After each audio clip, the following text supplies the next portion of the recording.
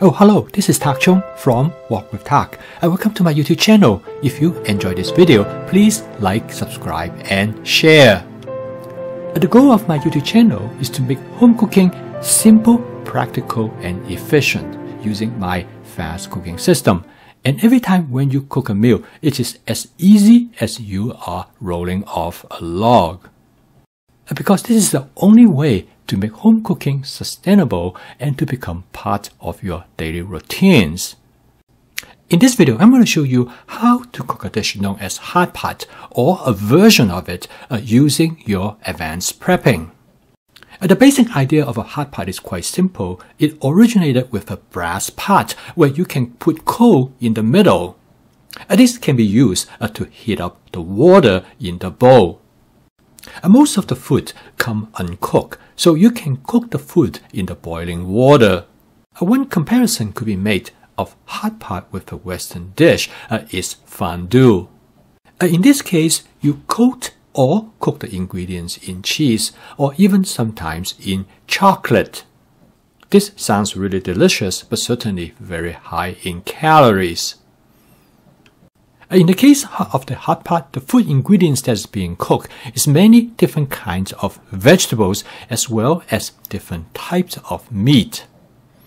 Uh, the meat include chicken, pork, beef, veal, and lamb, but usually chicken is probably the most popular.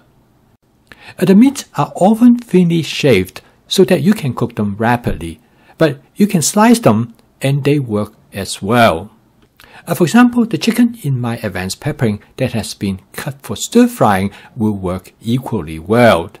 Uh, one great thing about the hot pot is that you can control how long you want to cook your food, uh, particularly the meat. After you cook your meat, you usually eat it with a dipping sauce. A dipping sauce is usually is a soy sauce base and added with other type of sauces such as a hot chili oil sauce.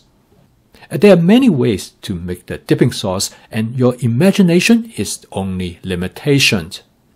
Here let me show you the hot pot that I have. I have something called a mini hot pot. It is a stainless steel pot that is designed uh, to sit on a hot plate most of the hot pots are much larger, but this is designed for one to two people. I set up the hot pot with water and I add Napa cabbage as the base of the hot pot. Uh, in fact, you can use any cabbage that you would like, and the hot pot is a great way to use up whatever vegetables that you might have left over. Both the Napa cabbage as well as the regular cabbage work very well, but personally I prefer Napa cabbage. I usually set up the hot pot right on the stove top. It is more convenient to set up the hot pot on the stove top uh, before I transfer it onto its hot plate on the table. All I really need to do is to get the water boiling uh, because I will be cooking the vegetables on the table as well. Uh, for this hot pot, I'm going to use two types of mushroom. The first mushroom that I'm going to use in this hot pot is a mushroom known as maitake mushroom. It is given to me by a friend and he collected them in the wild. Uh, this mushroom only available in the fall and it is a real treat. Uh, the second mushroom that I use in the hot pot uh, is a white traditional mushroom that I purchased from the supermarket. So as you can see here that we really enjoy mushrooms. Now there are many different ways to make hot pot and one way that we use here uh, is to use the vegetable to form the soup base. Whereas in some other version of hot pot, uh, spice and herbs will be added to the soup.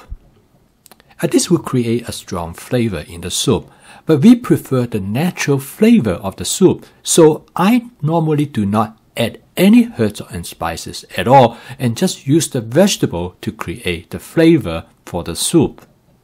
Another almost essential ingredient that goes with the hot pot is tofu. My friend Nina, uh, she does not like tofu at all, except when the tofu is in the hot pot. After you boil the tofu in the hot pot for a while, it becomes really soft and it absorbs the flavor from the soup. I like tofu in general, but I agree with Nina completely that the tofu in the hot pot has to be the very best in flavor as well as in texture. I usually fill the bowl uh, full with vegetables as well as tofu and bring everything to a boil uh, before I transfer it to the hot plate on the table. Uh, you can put almost any vegetable that you like into the hot pot, but you should avoid the vegetables that after you boil them for a while, they will turn mushy. For example, I will avoid vegetables such as broccoli and cauliflower. But vegetables like kale and chard will work very well. And now the water has come to boil. I bring the stainless steel pot and put it on the hot plate on the table. And this is where the fun begins. Uh, each diner will cook their own meat. And they will put the meat in a small stainless steel basket. Uh, they then put the basket into the boiling water uh, to cook the meat. Uh, for this hot pot, we use both chicken and shrimp. I use the chicken from my advanced prepping, and I use the shrimp that I normally use for stir frying. Therefore, no prepping is necessary for the meat, and because I already have all the vegetables available in my advanced prepping, setting up the hot pot takes only about 10 to 15 minutes. It is one of those meals on the surface, it appears to be complicated, but if you have everything available to you, it is straightforward and simple to have it get going. Uh, the beauty of the hot pot is that everybody can control exactly how much they want to cook their meat. Uh, they can choose the meat that they prefer, and we usually will have three kinds of meat that is chicken, beef, and shrimp. And with advanced prepping, everything is already cut and ready to go. All I have to do is thawing them out in a bowl of warm water in about 10 minutes. In addition to the meat, the vegetable is already being cooked and everybody just take whatever they want. It is a wonderful meal, uh, particularly on a cold wintry evening. Uh, there are many ways uh, to eat the food that you cook. most of the time, you use a dipping sauce. Our favorite is to use a soy sauce together with a fried chili in oil sauce, and sometimes we also use the sriracha sauce. And my friend Nina, the one who loves tofu, uh, will use soy sauce together with peanut butter. Uh, I was inspired to put this video together uh, because my friend Regina, who lives in Madison, Wisconsin, sent me a picture of a hot pot dinner that she had with her friends and her two sons. Uh, one thing that I noticed in this picture that I have never seen before is that there are four induction burners built right into the table. Uh, so that everyone has their own mini hot pot. I guess I am a traditionalist. I prefer the sharing and occasionally fighting with other diners for the food ingredients in the hot pot. If you have adopted my fast cooking system uh, with flavor chasing, advanced prepping, stir frying, and template based cooking, uh, making this hot pot is really simple.